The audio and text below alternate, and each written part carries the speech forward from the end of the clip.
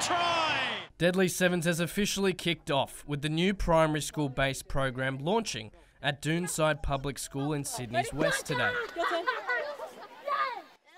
For Aussie Sevens squad member Mahalia Murphy, returning to her old primary school made it a unique experience. To be back in the community where I grew up and did my, you know, completed my primary school years is, is awesome to be back here, yeah.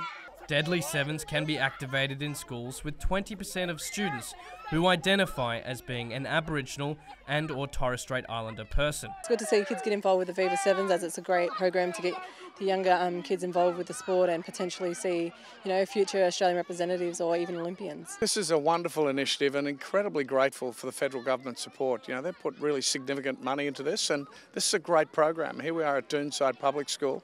You know, 28% of their kids are Aboriginal.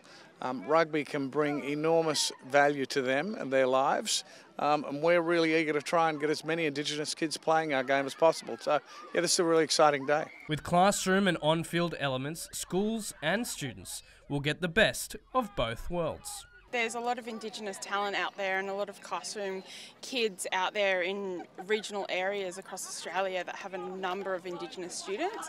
And we thought, what can we do to get them involved in rugby and how can we get them playing our game? And what a better way than to get them on the field playing some rugby, having some fun, then also getting into the classroom and learning about Indigenous culture, learning how to live healthy lifestyles.